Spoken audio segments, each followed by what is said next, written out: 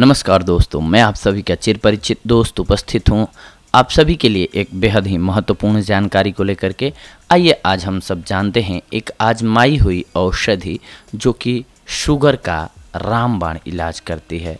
जी हाँ आजकल हर घर में इसके मरीज़ मिल जाएँगे। कारण क्या है? कारण है हमारी दिनचर्या में परिवर्तन। और दूसरा बड़ा कारण है हमारे भोजन में घुस चुकी अशुद्धियाँ।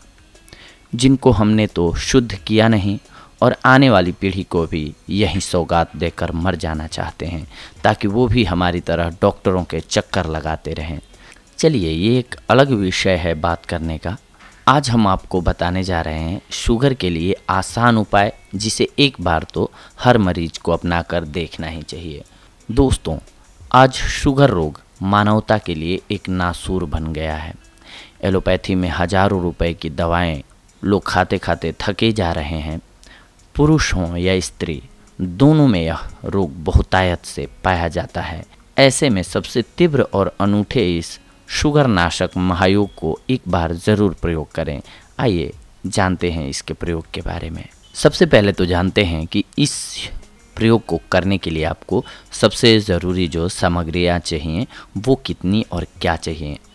इंद्र जो कड़वा 250 ग्राम चाहिए होगा आपको, बादाम चाहिए होगा आपको 250 ग्राम, यानी कि 250 ग्राम, भुने हुए चने चाहिए होंगे आपको 250 ग्राम। इंद्रजो दो प्रकार के होते हैं।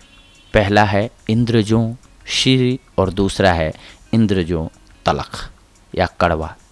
आपको इंद्रजो तलख लेना है। बाकी सामान आपको किसी भी पंसारी से मिल जाएगा। बादाम लेते समय ध्यान देवें कि बादाम अच्छे लें ये भी आजकल कई तरह के आते हैं। किसी किसी में से तो आजकल पहले ही तेल निकाल लिया जाता है। बहुत गड़बड़ झाला चल रहा है दुनिया में। कभी कभी अच्छे से अच्छे प्रयोग में रिज़ल्ट ना मिलना, इसके पीछे भी मिलावट या कम गुणवत्ता का सामान ये कारण होता है। भुने हुए चने में ये सावधानी रखनी है कि ये छिलके वाले लेने हैं आपको।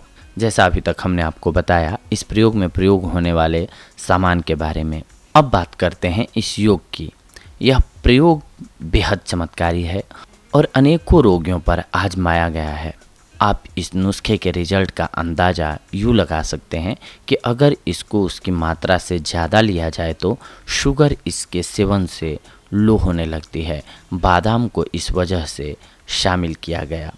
यह शुगर रोगी की दुर्बलता, कमज़ोरी सब दूर कर देता है और इसमें चने को इंद्रजो की कड़वाहट थोड़ी कम करने के लिए मिलाया गया है। अब आइए जानते हैं इंद्रजो से शुगर का घरेलू नुस्खा बनाने और सेवन की विधि के बारे में। तीनों चीज़ों को अलग अलग कूट लीजिए, थोड़ा दुरदुरा पाउडर बनाइए और कांच के जार में रख लीजिए। खाने के बाद एक चाय वाला चम्मच एक दिन में केवल एक बार खाएँ, सादे जल से। अगर आप दोस्तों में से कोई शुगर रोग से ग्रस्त हो तो स्वयं इस योग का सेवन कर नया जीवन पाएगा।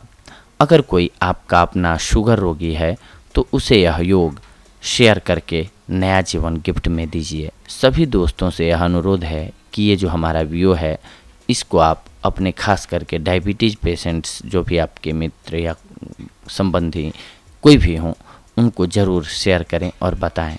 ताकि अधिक से अधिक लोग इसका लाभ उठा सकें। अब देखते हैं कि ये प्रयोग किन रोगियों पर लाभप्रद साबित होगा। ये प्रयोग उन रोगियों पर बेहद असर करेगा जिनको इंसुलिन नहीं लगती हो। अगर इंसुलिन लग रही होगी, उन रोगियों पर यह नुस्खा अधिक कारगर नहीं होता है। तो देखा दोस्तों, आप सभी ने आज हम आप सभी के लिए एक ऐसी औषधि से जुड़ी हुई जानकारी लेकर के उपस्थित हुए थे, जिसके सहारे आप अपने शुगर को मिटा सकते हैं।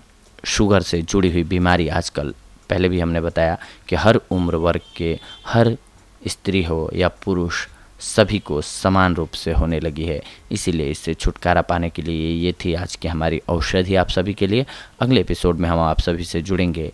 एक और बेहद ही महत्वपूर्ण जानकारी को लेकर के, तब तक के लिए धन्यवाद। नमस्कार दोस्तों।